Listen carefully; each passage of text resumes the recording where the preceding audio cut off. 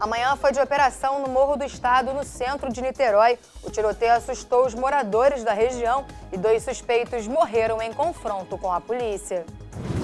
Segundo informações, os baleados foram socorridos pelo Corpo de Bombeiros, mas não resistiram aos ferimentos. A ação foi realizada com o intuito de cumprir mandados de prisão por agentes da Delegacia do Centro e contou com o apoio de policiais militares do Batalhão de Niterói e de agentes das delegacias de Caraí, Fonseca, Jurujuba e Itaipu. Um revólver, uma pistola, drogas e radiotransmissores foram apreendidos. Até o momento, na ação, uma pessoa também foi detida.